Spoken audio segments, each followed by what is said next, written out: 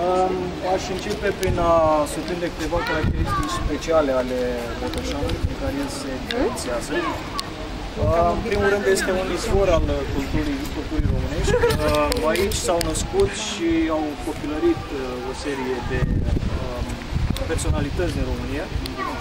Apoi este orașul lui Eminescu, numele poetului este prezent pe tinde prin Botoșan. Este un oraș verde. În anul 2012 a câștigat titlul de cel mai verde oraș la categoria orașului medii.